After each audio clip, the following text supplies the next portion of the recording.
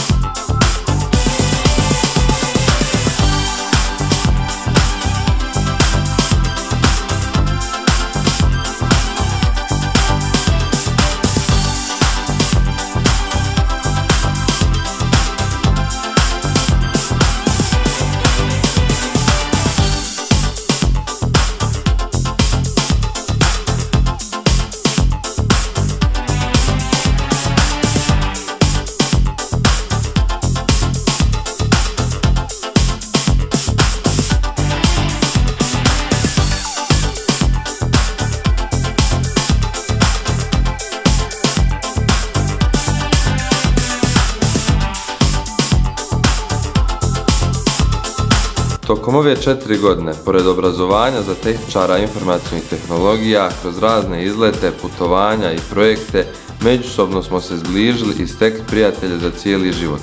Često smo se osjećali kao da je razredna jedna od nas. Da li to bilo dok smo radili kvadratne jednačine ili dok smo bodrili našeg prijatelja na utakmici Waterpola.